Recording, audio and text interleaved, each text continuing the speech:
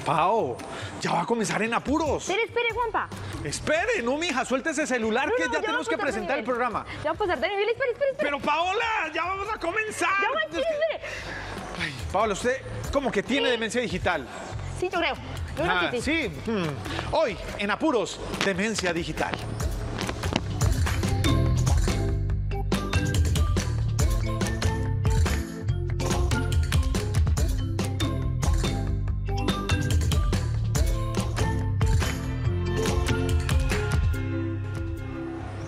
Bueno, Pau, hasta que por fin soltaste pues el dispositivo electrónico. Sí, ya me dio un poquito de pene. Con lo de demencia digital ya me asusté. Es que hablar como de ese término puede ser asustador, o sea, demencia Demente. digital. ¿En qué, ¿De qué trata eso? ¿En qué consiste? ¿Cómo desarrollar este tema? Pues como siempre en Enapuros tenemos la compañía de un profesional en el tema. Tendremos a Felipe Camacho que nos sugirió este importante tema y con él lo vamos a desarrollar y vamos a aprender. Así es, Juan Pablo. Muchas veces en la casa nos preocupamos de qué pasa con nuestros hijos y el uso del celular o el uso del computador o el uso de la Xbox, bueno, todos esos aparatos electrónicos. Y hoy vamos a mirar hasta qué punto de pronto es peligroso, hasta qué punto es sano, hasta qué punto ya nos debemos de preocupar y de tomar, digamos, decisiones. Entonces vamos a estar tratando ese tema, pero además hoy es martes de manualidades y como siempre tenemos una invitada. Hoy es una invitada muy especial que nos va a enseñar a hacer un títere. Ay, imagínate, con materiales súper sencillos que encontramos en casa y eso nos va a permitir desarrollar mucho la creatividad, mejor dicho. Hoy el tema sea el cerebro. Vamos a explorar mucho el cerebro desde muchos ámbitos y esperamos que ustedes disfruten mucho de este programa. Así es, Juanpa. Y le cuento que en estos días estuve visitando a Emanuel en la casa y además de cocinar, de hacer manualidades, le encantan los dinosaurios. No. Y tiene una familia hermosa, tiene su hermanito y nos presentó a la familia. Así soy yo, Emanuel. Estas son, son las escaleras de las tías. Sí, acá abajo. ¿Ves? Camina más. Acá es por acá. ¿Quieren entrar a mi casa? Mira, acá está todo. Todo tipo de cosas, sillas. Y acá está, y acá está la mesa y las sillas y un computador. Esto es un, es un pulpo, sí, pero mira. Mira, es bastante. Una matarraya, tengo. ¡Ay! Eso duele. Una jirafa, una rana, un, dinosaurio, un dragón y, una tortuga y un pez. Acá están los dinosaurios. Los dinosaurios son tantos. Un estegosaurio, un estegosaurio, un un y un T-Rex más, pero sí me queda este, un branquiosaurio, pero lo pueden llamar brontosaurio. Y ese es el cuento de tiburón, el del pez. ¿Piensas por acá? Peleas. Ay, vamos a pelear. Ay, eso no me da para pelear. Vamos. Ay, es que no puedo.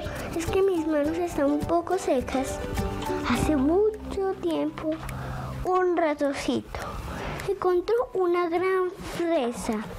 La encontró y después subió tan alto, pero entonces tenía mucho miedo de la rata. Si otra rata se comió su se comió otra fresa. Le da mucho miedo, pero mira, es de cabeza, está de cabeza, ¿ves? Entonces terminó de comer y después comió colorín colorado. Diego, Diego, ¿cómo, cómo canta la vaca? ¿Y cómo canta el gato? ¿Y cómo canta la oveja?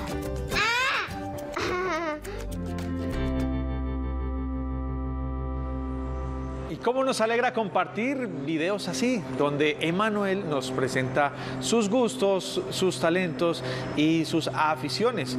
Él estaba leyendo un libro, más adelante tendremos otra lectura para que encontremos otras alternativas, porque el tema hoy es la demencia digital. Y tenemos a nuestro invitado Felipe Camacho, que nuevamente nos acompaña, y él es psicólogo clínico que nos sugirió este tema. Felipe, bienvenido a Anapuros, ¿cómo estás? Juanpa, feliz, muchas gracias por, por la invitación, Paola, gracias también por, la invitación, lo sugerí porque cuando terminamos el, el programa la semana anterior me preguntaste qué temas de pronto serían buenos y a mí inmediatamente se me vino este a la mente, pues primero por una necesidad de nosotros como adultos y segundo porque al ser necesario para nosotros es absolutamente necesario para, para nuestros hijos, para nuestros niños y obviamente pues qué más que este programa que es especial para ellos, es una necesidad primordial en este momento.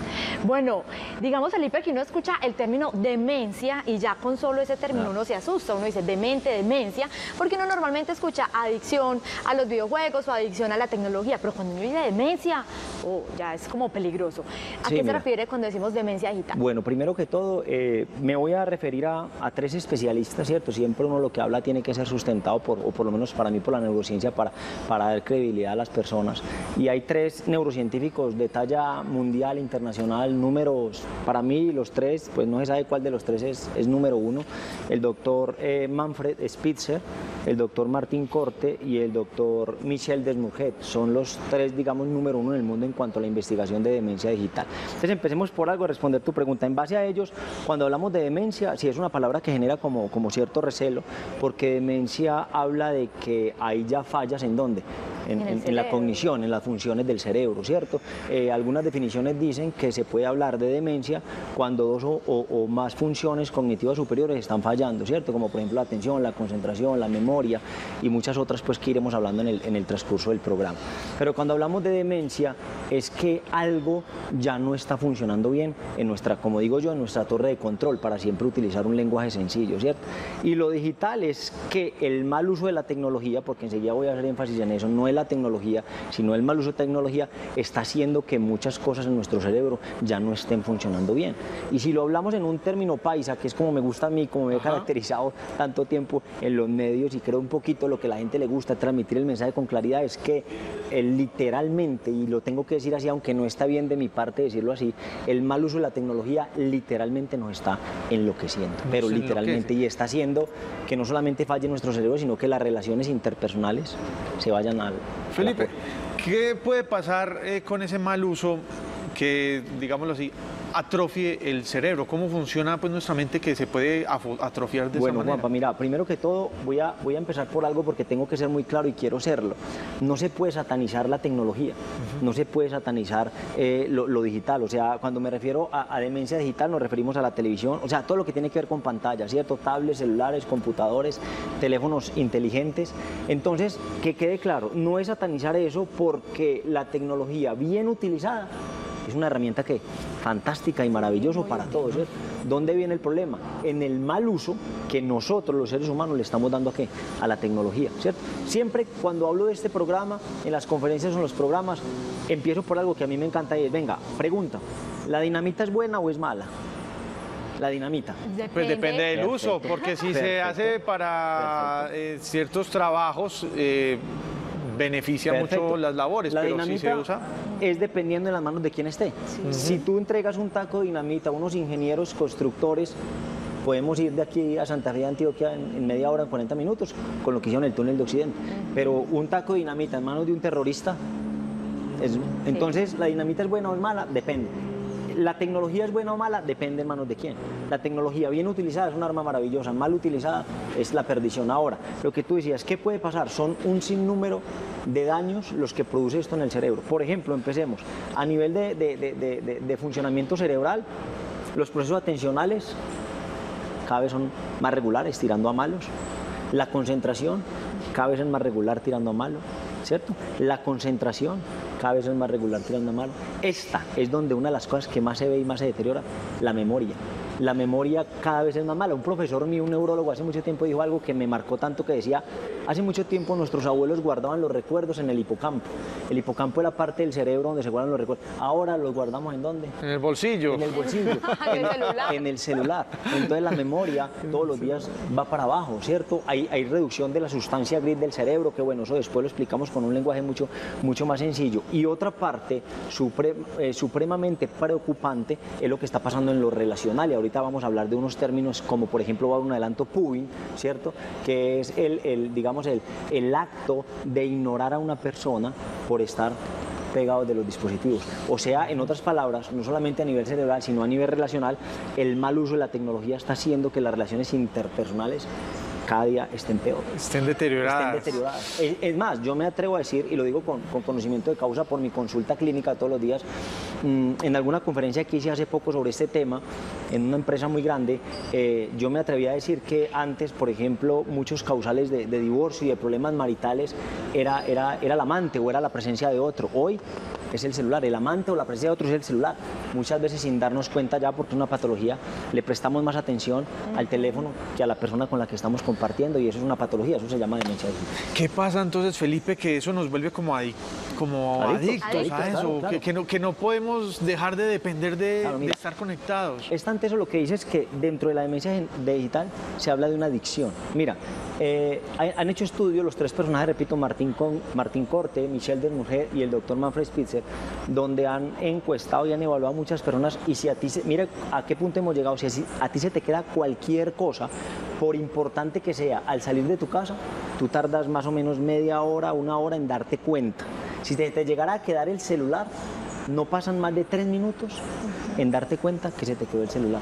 Lo que significa que nosotros estamos volviendo dependientes y adictos a estos aparatos. Es más, han hecho pruebas estos personajes donde se le pide a las personas eh, quitarles el celular por un momento y las personas, la mayoría, empiezan a sufrir de, de una cosa que se llama trastorno de ansiedad generalizada. Es como si les faltara ¿Algo? literalmente algo, pero, pero, pero uno pensaría, pues, ¿qué le falta? ¿Una pastilla para...? No, una pastilla no, el, el- Celular. el celular. Y eso ya habla, repito, de una demencia digital. Mira, mm, hay lugares, por ejemplo, que a mí me encanta, más que todo en Europa, donde han empezado, lugares públicos, donde han empezado a poner un reglamento y es que para que las personas eh, puedan hablar eh, eh, entre ellas en las mesas, al entrar, uno de los requisitos es que tienen que entregar el celular. Y lo más triste, hay mucha gente que al pedirle ese requisito Mejor prefiere, no prefiere no entrar. Y a mí me parece que es una estrategia maravillosa porque nos obligaría otra vez a, a lo que digo yo, el cara a cara y el face to face, ¿cierto? A hablar otra vez y a poder mirar fijamente a los ojos a las personas. Bueno, Felipe, usted está tratando unos temas maravillosos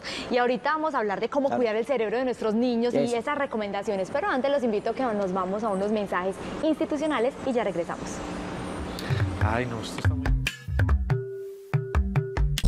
Estás viendo En Apuros.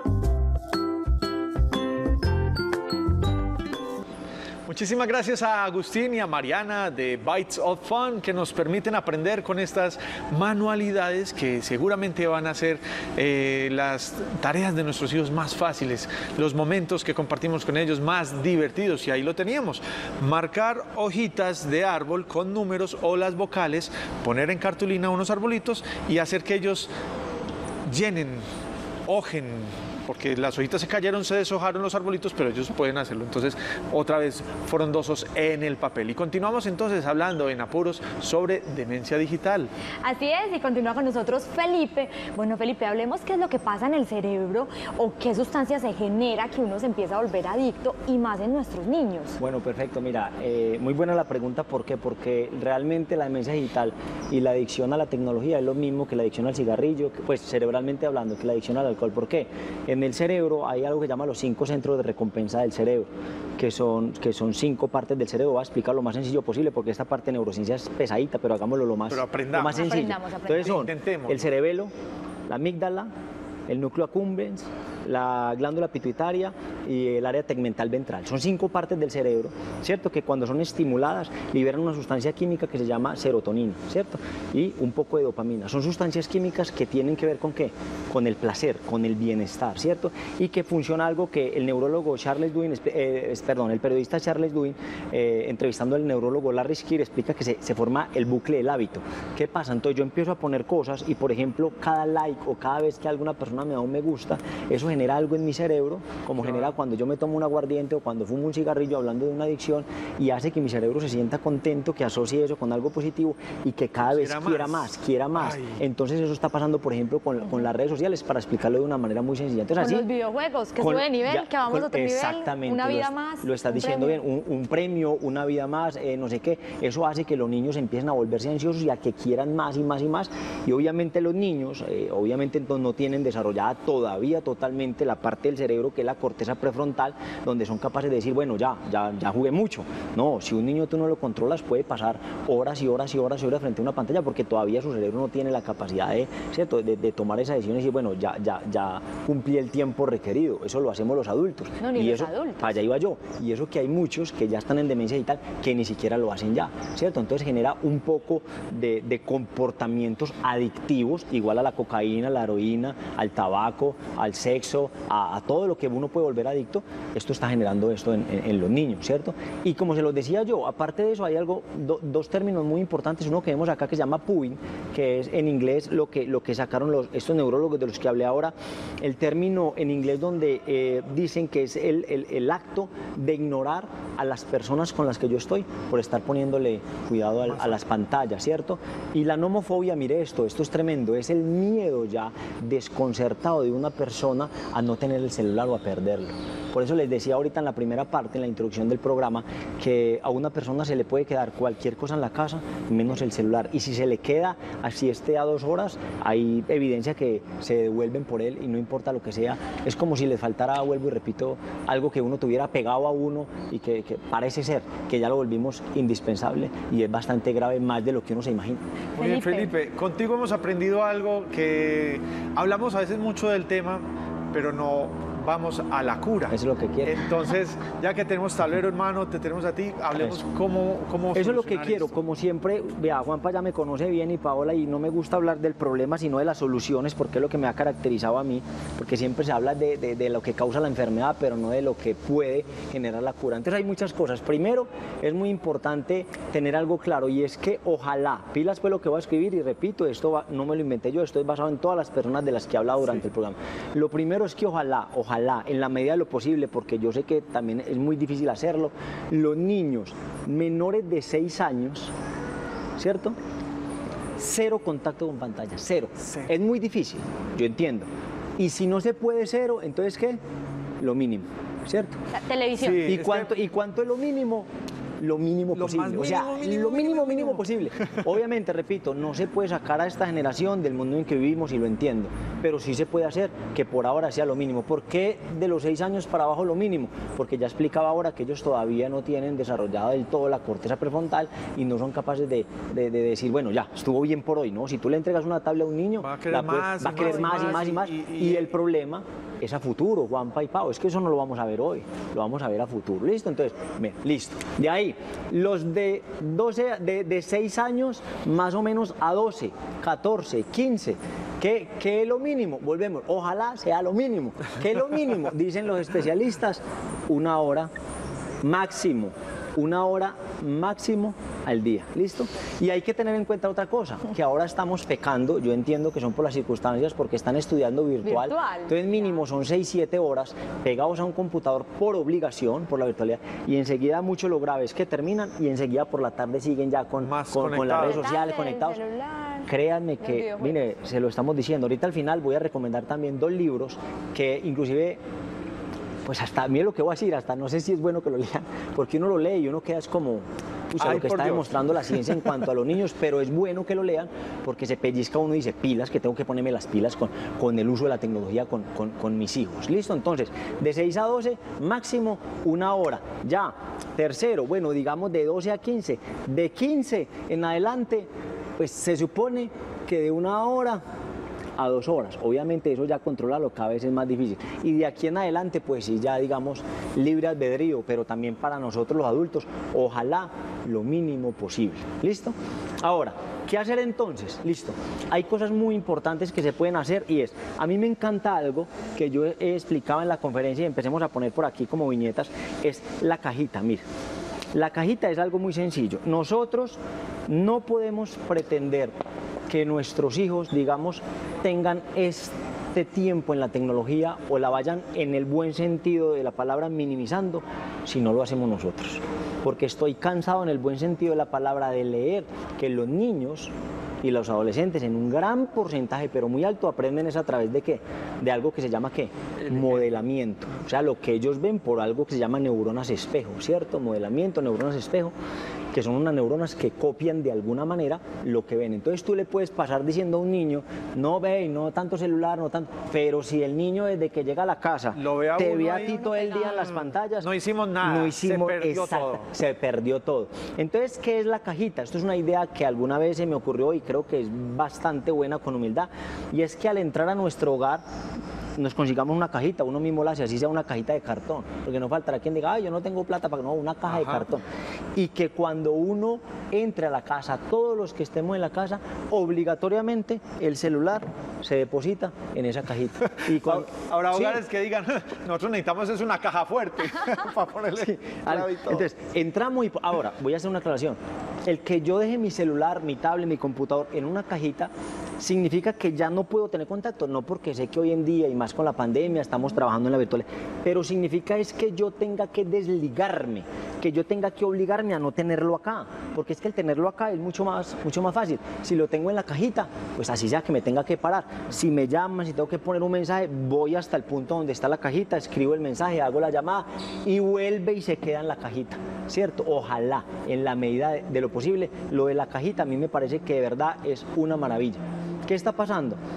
A mí me preocupa eso. En las reuniones sociales uno debería incre- eh, eh, implementar esto, perdón, El implementar. que coja el celular paga Sí, la cuenta. porque es que mira, a mí me parece muy grave que uno hoy en día se reúna y lo van a ver ahorita en diciembre, que viene la época navideña, con la familia y uno haga una reunión para que cada persona esté pegada del celular. Para mí, de verdad, es que mejor que no vayan. Sí. Es mejor que no vayan porque es una falta de respeto. Está de Es que cuerpo, pero ti- no está de mente Es que, ni alma. exactamente, mira, aquí voy a decir algo que me parece muy bacano.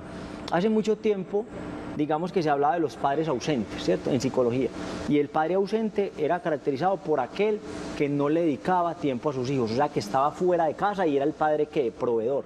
Pero a mí me gusta hoy, después de haber hecho toda esta investigación de todos estos monstruos que investigué, estos neurocientíficos, eh, hoy en día la mayoría de padres, y no quiero juzgar a nadie, son ausentes, aunque estén. Me explico, porque si yo estoy con mi hijo, o inclusive con mi esposa, pero estoy con el celular aquí en la mano y mientras que juego con mi hijo con el celular en la mano, soy un padre ausente. Lo que tú dijiste, estoy, pero no estoy. estoy. Y le estoy diciendo a mi hijo o a la persona con la que esté, usted no me importa, me importa más esto. Es inclusive una falta de respeto. Cuando uno está hablando con una persona y no, ah, Pau, sí, entonces te estoy diciendo, tú no importas, importa esto. Entonces, no hay que ser, no hay que estar afuera de casa para ser un padre ausente. Si estoy con un hijo, pero estoy pendiente de esto y con esto en la mano, estoy siendo un padre ausente. Porque estoy, pero no estoy. Porque estoy en presencia física, pero estoy a millones de kilómetros, quién sabe a dónde por acá. Y luego decimos que mi hijo, porque es pegado de las pantallas, porque es lo que ha visto. Claro. ¿cierto? Entonces, a eso me refiero. Si estoy con ellos, es- o sea, estar y que pongámoslo acá, que sea una prioridad. Y cuando repito una prioridad, que sea estar con ellos, no con un carrito ni el celular al lado, el celular estando lejos. Y ellos lo sienten, ellos, Ellos lo- sienten todo claro, y se dan saben cuenta. cuando les Ahora- estamos prestando atención o no. Pau dijo una cosa muy bacana que yo la sugiero en las conferencias a los pacientes. A mí me gusta esto es para ayudar en pareja, porque mire, hoy día, se los decía al principio, esto, esto no, el mal uso de esto está deteriorando las relaciones interpersonales y de pareja, pero como ustedes no se imaginan, Juanpa, Pau y televidentes, como ustedes no se lo imaginan, porque se lo digo yo que llevo 16 años atendiendo gente todos los días, todos los días, ¿sí? Es mal uso de esto está haciendo que las relaciones de hoy en día no me tienen que creer, vamos a ponerle una tarea a los televidentes para que la hagan. Y cuando yo se la pongo a los pacientes me dicen, no, Félix, que fue aburrido. Mire, vayan a un centro comercial. Sí. Esto no es para juzgar a nadie, No. sino para que nos demos cuenta cómo esto nos cogió ventaja y está deteriorando nuestra vida. Vayan a un centro comercial. La gente ya no interactúa. La gente son familias en la mesa y cada uno. Es más, la gente sola, comiendo, con una mano come y con la otra mirando el celular. Yo veo parejas, salen parejas a bailar cuando se podía, hace unos meses. Parejas no es, ah, no, y cada uno, eso es, vea, ¿para qué salen? Bailando. ¿Para qué hacen eso? No, es de verdad, ¿para qué hacen eso? Eso no tiene ningún sentido. Hemos Si- llevado las cosas a otros niveles. a otro nivel. Si yo, absurdos. si yo estoy con una persona, estoy con la persona y tengo que estar ahí. No tengo que estar mirando un celular ni pendiente de otra cosa. Porque le estoy diciendo, tu prioridad es la pantalla, no eres tú. ¿Cierto? Entonces, por eso estoy hablando de, de prioridad en el momento y con la persona que estoy. ¿Cierto? Paola dijo una cosa muy chévere y créeme que yo la he implementado. Para la convivencia en pareja o en familia, hacerlo de manera creativa para que no sea pues como cantaleta, pero que sea verdad, jugando. Y es que listo, estamos en la casa, estamos... El que coja el celular sin darse cuenta porque ya se convirtió en algo inconsciente, Inconsciente. ya es algo inconsciente, repetitivo y negativo, se le va a cobrar una multa. Pero una multa simbólica, ¿me explico? Ajá. Ah, bueno, listo, ah, cogiste el celular. Usted invita a comer hoy o usted invita a comer mañana. ¿Sí? O Pues, 10 sentadillas, o eh, cualquier una cosa, pena, una cualquier cosa. ¿Para cualquier qué? cosa. Para que por favor empecemos de una manera no cantaletosa, sino lúdica, a hacerle caer en cuenta al otro que está cometiendo un error. Me explico. Sí. Si Paola y yo somos pareja y Paola saca el celular sin darse cuenta, porque sé que esto es muy inconsciente ya lastimosamente, ya ni nos damos cuenta porque se convirtió en un acto repetitivo, inconsciente y negativo, esa asertividad, ese es otro tema chévere. Yo le digo a ella, ah, viste, ya sacaste el celular otra vez, entonces ya nos prendemos porque activamos el cerebro primario. Pero yo le digo, ah, multa, me debe 50 lucas. Mire que le estoy Se diciendo. un juego sí, y ya no se pero un pila, ataque. le estoy Sí. diciendo lo mismo, Sí. que la están barrando, pero lo estoy diciendo por medio de un juego, no de un ataque. O sea que es una estrategia de comunicación asertiva para hacerla caer en cuenta ella de un error, pero de una manera lúdica. Y de verdad que son 50 lucas. O, o me invita al mo- o me invita al almorzar.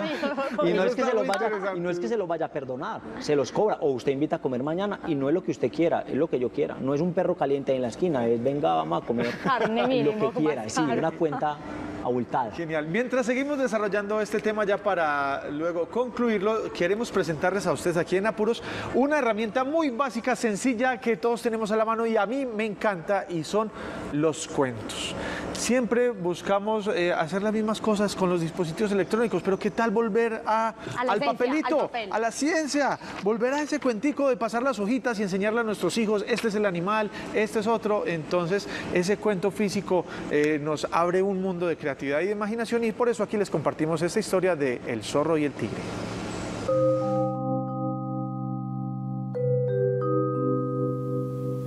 Hoy es noche de lectura, noche de cuentos.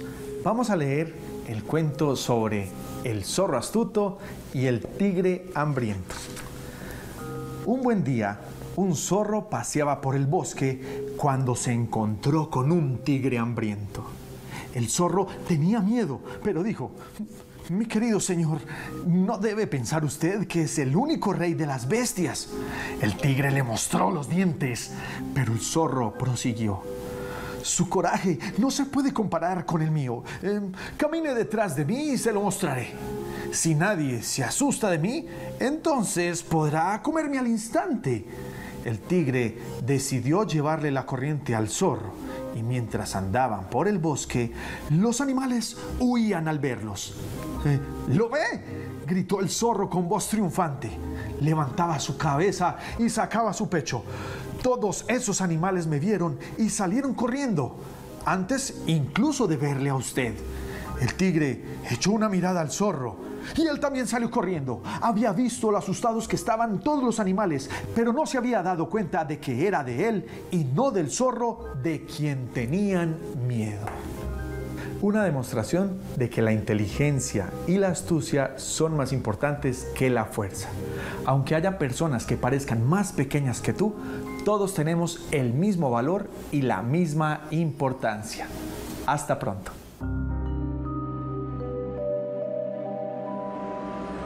Definitivamente es volver a lo esencial, a leer el cuento, a compartir en familia, a cocinar en familia, a volver a esos juegos tradicionales, juguemos parques, juguemos cartas, juguemos uno, en fin.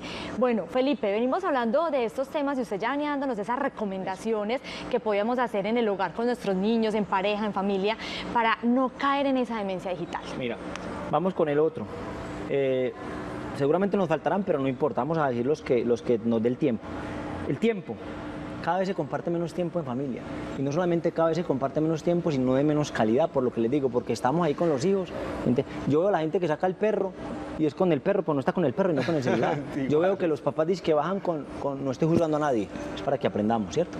bajan con el niño que a jugar fútbol y son jugando fútbol y con esta mano el celular. No, o somos o no somos, ¿cierto? O lo uno o lo otro. Entonces, pasar más tiempo con los hijos, que es lo más importante, y no solamente tiempo, sino de calidad. Y cuando hablo tiempo, también es muy importante en los pelados la ocupación del tiempo libre, porque me explico, si un niño, por ejemplo, voy a poner un ejemplo, tiene libre de 4 a 6 y el niño no tiene nada que hacer y sus padres están trabajando, se pega de lo digital, ¿cierto? Se pega del internet, se pega de la tablet. Si un niño, por ejemplo, de 4 a 6 tiene clases de karate, si un niño de 4 a 6 tiene clases de gimnasia, tiene clases de guitarra, no, no, le estamos quitando tiempo de esto para algo verdaderamente valioso y verdaderamente importante.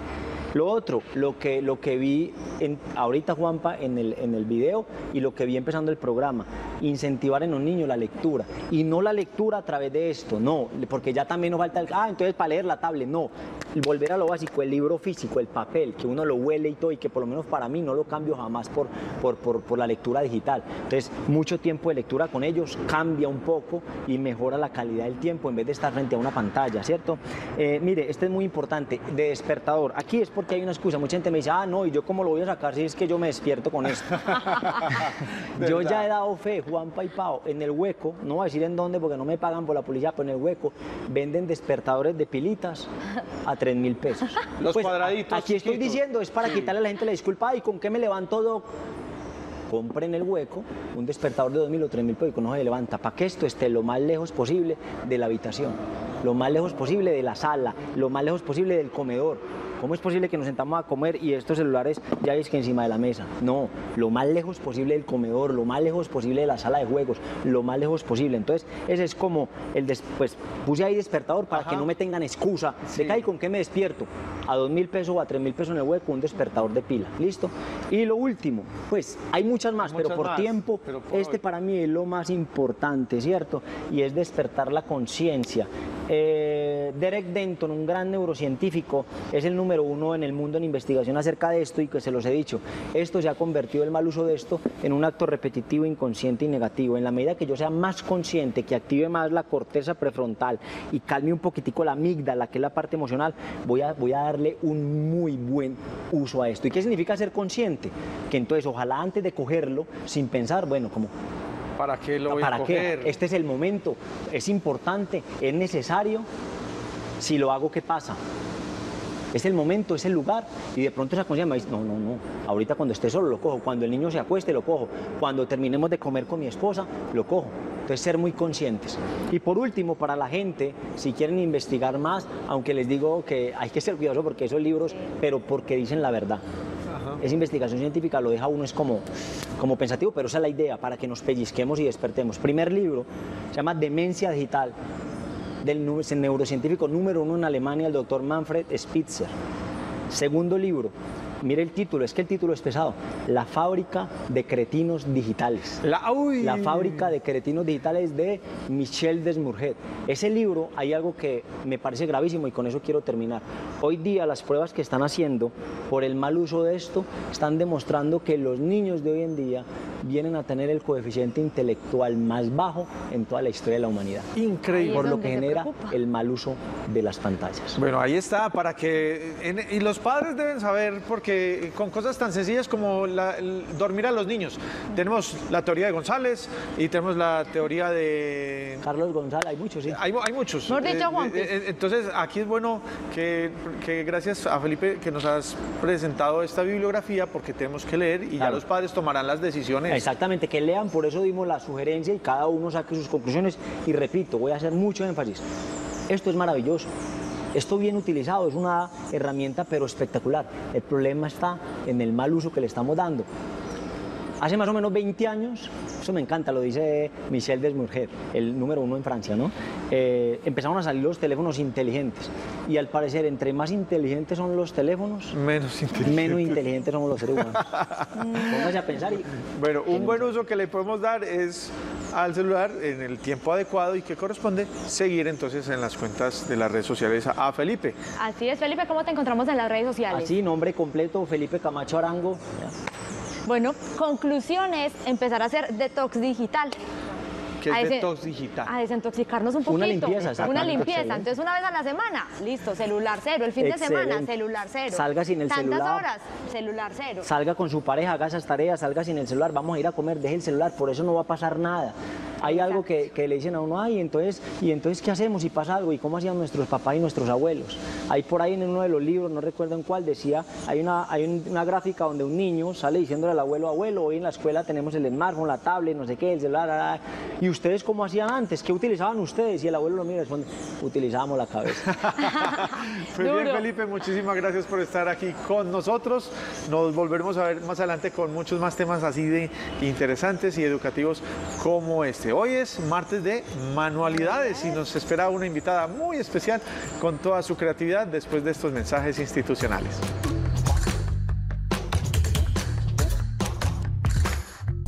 Estás viendo En Apuros.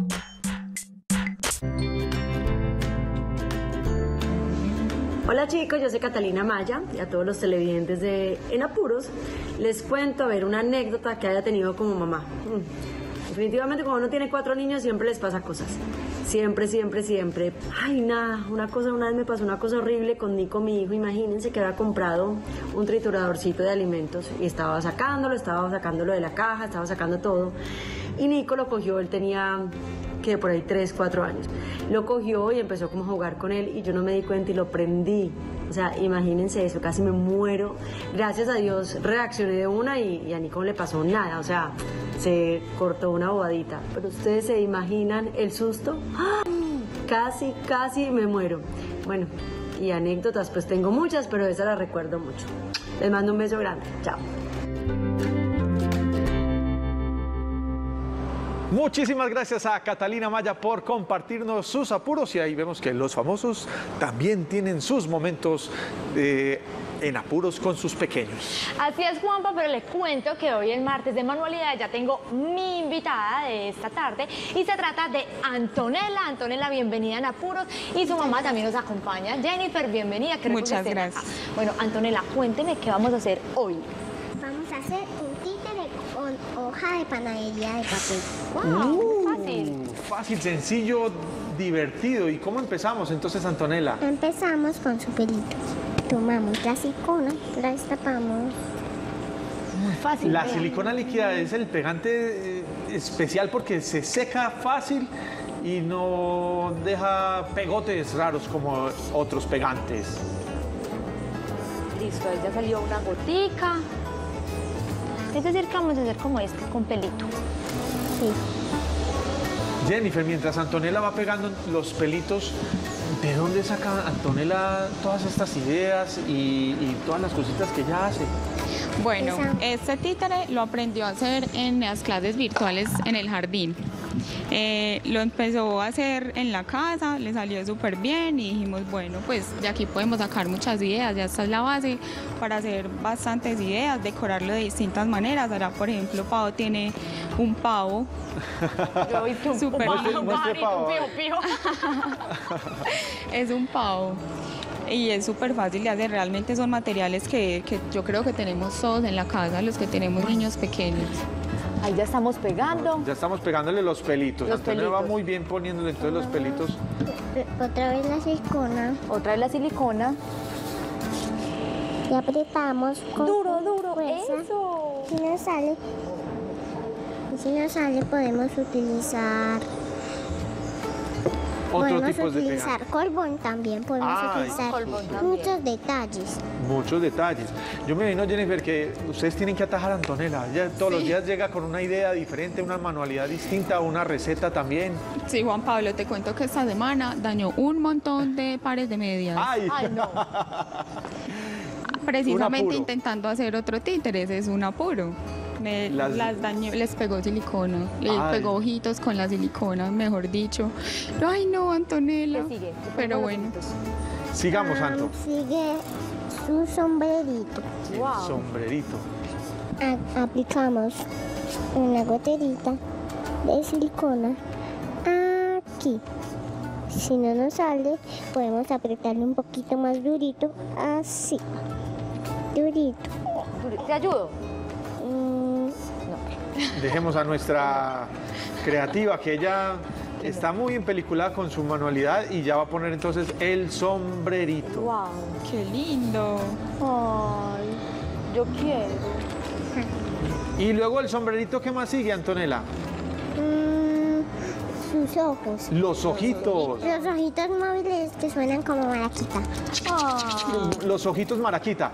Yo Pero también se pueden hacer de papel, mira eso. Ay, sí, ese pavo tiene de papel, no tiene los tridimensionales de maraquita que nos está enseñando Antonella. Y bueno, pavo, hay que ponerle un nombre a ese pavo. Eh, Pablito. El pavo Pablito. Muy bien, mire, Anto ya puso el primer ojito. Hasta Juan ahí Pablo, es un ciclo. Póngale pues nombre a este. Cristancha. Ay, Dios mío, Cristancha. Se- se va a Tenemos llamar que terminar este para poder ponerle nombre también. Hay que terminar Ta, ya, Ahí se lo paso a. Juan Pablo. Entonces ya enseguida lo vamos a tomar. Y tomamos el otro ojito. Y el otro ojito porque si no queda un cíclope. Un cíclope es un personaje con un solo ojo. Acá en la mitad. Ajá, ahí en la mitad. Aquí en la mitad. Tienes que pensar el nombre de ese personaje, Antonella. Ya lo pensó, ¿cierto, Anto? Sí. ¿Cómo se ¿Cómo llama? se llama? El señor Bob. El señor, señor Bob. Bob. El señor, Bob, eh, qué bueno ponerle nombres, porque así como uno tiene un nombre, pues ponerle nombre a los personajes nos permite identificarlos y darles una identidad. Dale, nena, con esa es suficiente. Ya lo puedes pegar. Pío, pío, pío, pío, pío. ¿Cómo hacen los pavos?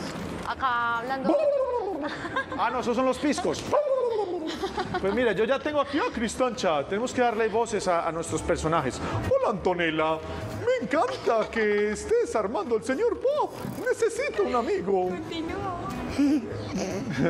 Ahora ¿Qué más le Gracias? Antonella. Le tenemos que poner La lengüita. la nariz, La nariz el bigote.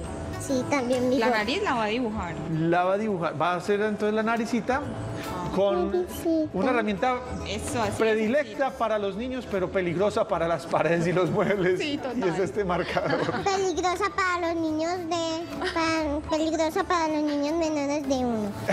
Sí, Menores para de uno. menores de uno. Antonella, y podemos levantar, a- le falta el bigotico. Pégale Ah, el bigote para que levantemos y hagamos una obra de teatro con Bob. Vamos entonces a... a- a- Pégale. Este nos queda más fácil con pegastic. Ah, listo. Entonces usemos e- esa peguita y ahora vamos a ver entonces cómo te quedó el señor Bob y vamos a darle vida a nuestros personajes. A nuestros personajes. ¡Hola, Juan Pablo! ¿Ah, ¿Cómo se llama? Eh, Cristancha. ¡Hola, Cristancha! Hola, pavito. Hola, pavito. Ya, se- ya me... Le he cambiado más voces de voz. más veces de voz. Hola, Antonella. Cuando mi mamá está enferma, yo le hago una obra de arte y me pongo detrás del espejo. ¿Qué nota? Para que no Wow. me vean, pero solo muestro los títeres. Así. Genial. Así nos vamos a despedir, solo mostrando los títeres. Entonces, Antonella, nos queda ya Pégale, un pégale. minutico para poner el bocito y despedirnos del programa. Para que Bob, el señor Bob esté listo. Vamos a ponerle el bocito al señor Bob. Rosito. Bocito. Ponle la corbata también. Sí, Ponle esa, mira. sí, la rosita. Dale. ¿Y, este verde para qué era? Mm, Para la camisa. Ah, que la camisa, póngale la camisita, camisa. Pongámosle Sí, camisita. pongamos la camisa del señor Vamos Bob, por favor. Oh, vamos a alargar un poquito el tiempo. Vamos a alargarnos más. Explica el pegante acá. Para que el señor Bob tenga camisa y corbata. Y boquita. Ah, la boquita. listo. la Ya no lo quiere dejar sin boquita para poder que pueda hablar. Para que pueda hablar. Jennifer, yo creo que tú debes disfrutar mucho los tiempos con Antonella porque que ella se permita realizar este tipo de cosas, pues hace que ustedes compartan mucho como Bastante, familia. bastante. Nos reímos demasiado, demasiado. De hecho, el apuro de esta semana que te contaba, pues me sorprendió bastante, pero ya después yo qué más iba a hacer, reírnos y disfrutar y el papá no podía de la risa mi también. abuelita. Después de ver todas esas medias, todas, madera. todas Bueno, llenas de silicona con ojos de Y ahora La papel. camisita la vamos a pegar así. La camisita así. Y, es cómo, con pegastic. ¿Y cómo fue la, cómo es la obra de teatro que ella hizo con el espejo? Aquí. Ella le gusta eh, hacer con, con hojas iris eh, los títeres también. Ella los dobla y los pega y les, les dibuja, les dibuja la carita y se inventa los personajes, se hace detrás del espejo, hola mami, soy no sé quién, hola, hola, adivina dónde estoy y es así, súper No, linda. Toda una artista y por eso es nuestra creativa invitada en estos martes de manualidad. Y ya ella está terminando su personaje y nos vamos a despedir todos con nuestros personajes, con Pablito el Pavo, con Cristancha y con Bob, Bob, el señor Bob. el señor Bob. Muy Tiene bien. que poner la voz así, Antonio, la gruesa, como la de un señor. Hágale pues, pégale la Dale, camisa al señor Bob. Cambió Paulito, hola sí. Pégala así, pégala así. Pégale la Pégala así de camisita. la mitad, que ya con ese pegante es suficiente.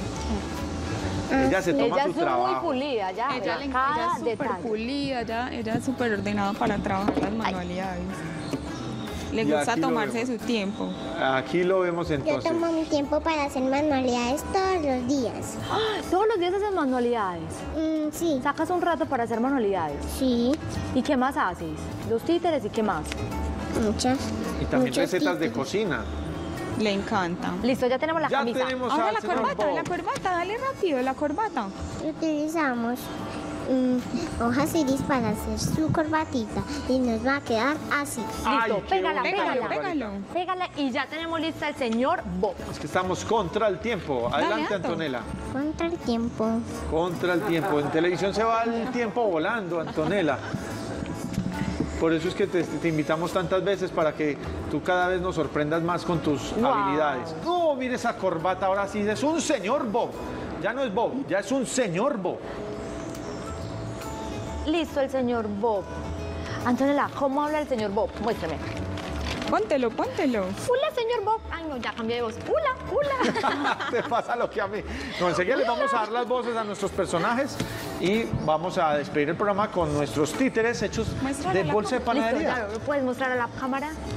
Póntelo en la mano. Muy bien, miren al señor Bob entonces de las manos de Antonella, con sus ojos, su bigote, su corbata, su pelo y su sombrero. ¿Cómo habla el señor Bob? Hola. Hola, señor Bob. Vamos a hacer entonces nuestra pequeña obra de teatro para despedir nuestro programa con los personajes Cristancha, Pavo Pablito Pablito. y el señor Bob. Entonces, ¿cómo nos despedimos? Chao. ¡Chao, pescado! Gracias. Gracias, Antonella, por enseñarme a hacer este títere. Ah, no, era señor Bob. Señor Bob. Oh, señor Bob. Señor- A ver, ¿cómo, cómo lo haría? Señor Bob, Eso. señor Bob, muchas gracias por enseñarnos a hacer muchos personajes. Le queda muy linda su corbata. Es tiempo de despedirnos. Diles chao, amiguito. Oh, chao, amiguitos. ¡Chao, pescado! O como dirían en inglés, see you later, alligator. Chao, señor Bob. Chao, gracias. Bueno, Yo hasta aquí nuestras manualidades. Esperamos que ustedes hayan disfrutado al igual que nosotros. Miren, con materiales que tenemos en casa se pueden lograr estos personajes y muchísimos más.